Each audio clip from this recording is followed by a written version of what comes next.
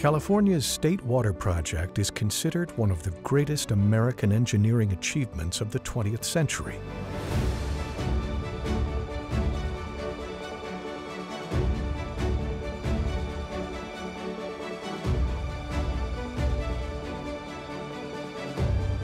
An endeavor as massive and challenging as the State Water Project might have scared off most people. But William Gianelli wasn't like most people. 250 miles north of here, when we started the water coming south, he said to me just before he pushed the button, he says, this damn thing better work or you better head for that canal. Gianelli was never afraid to face a challenge, and he would go on to play a vital role in the State Water Project.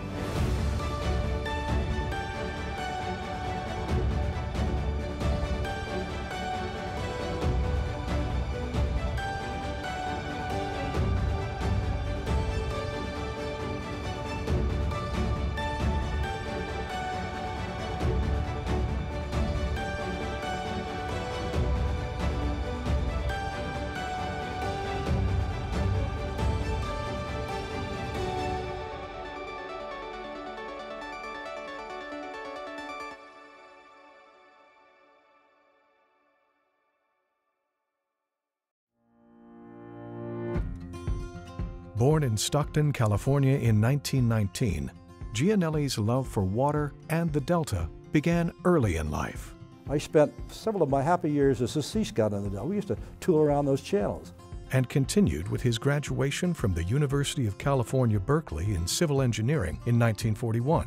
After graduation, Gianelli served in the U.S. Army Corps of Engineers during World War II he was involved with the construction of airfields, water supply facilities, and other public works projects. I got my discharge uh, at the end of 45, and in March of 1946, I went to work as a junior engineer in the Division of Water Resources.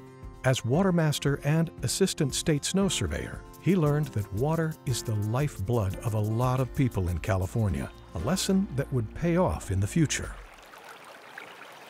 During Gianelli's eight years as the chief of the Water Rights Section, he became familiar with a lot of the major water projects in California, including the one that would make a huge difference on both the people of California and his own future.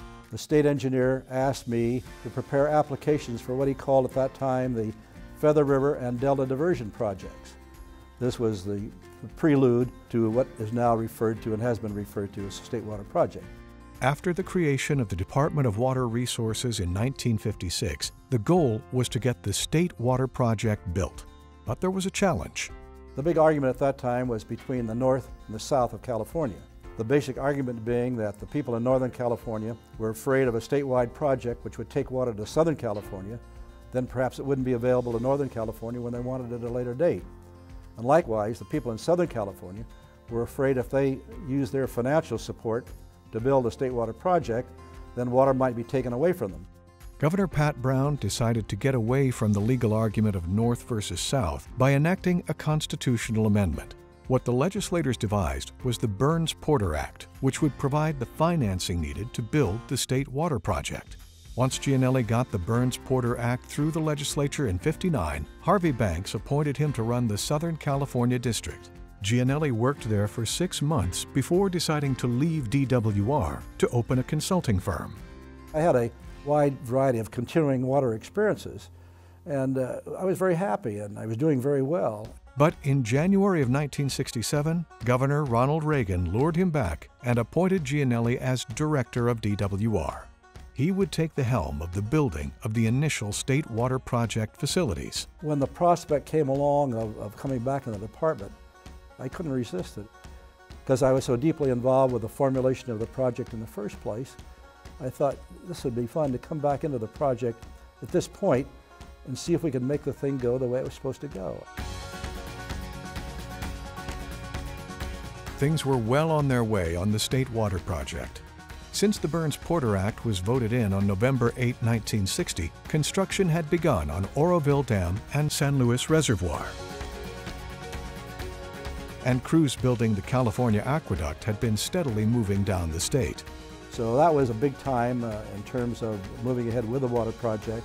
When I came aboard in uh, 1967, Oroville Dam was pretty well along the line, pretty well completed, and we were able to complete it and then start the rest of the project.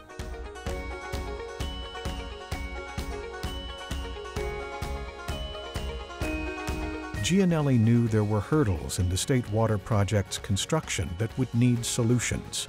When I came in, one of the first things I asked the governor to do was to create a task force to take a look at the status of the State Water Project, both from a financing and from an engineering standpoint. One of the things that still had not been decided was how you get over the Tehachapi Mountains with a large lift. Many people felt that you couldn't design a big pump that could lift the water over the Tehachapi Mountains without a lot of problems. They believed two lifts would be needed. The department found a pump that they thought would deliver the water in one lift, so Gianelli decided to use it to send the water over 1,926 feet up the Tehachapi Mountains, higher than it had ever been lifted anywhere in the world before. Today, California is celebrating the opening of a pumping plant unlike any ever built in any part of the world. And now, if we hear five bangs, we have just built the longest swimming pool man's ever built. Start the motor.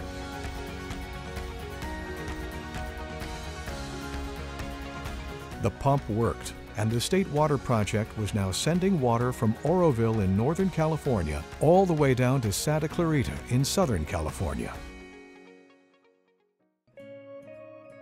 Work was already underway on the various dams and lakes in Southern California.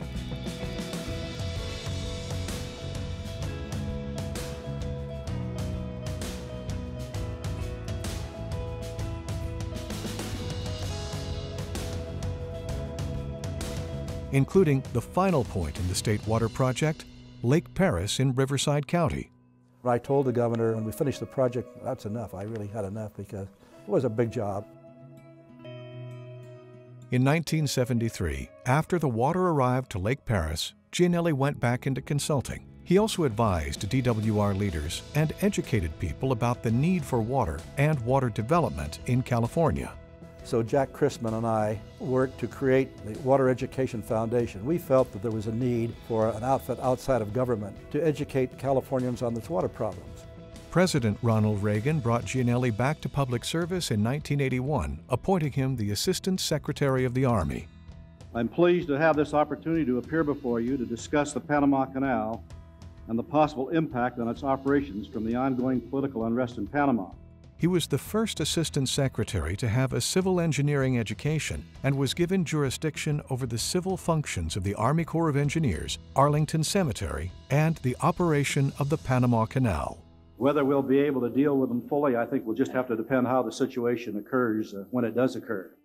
Gianelli remained involved with the Water Education Foundation, serving as its president.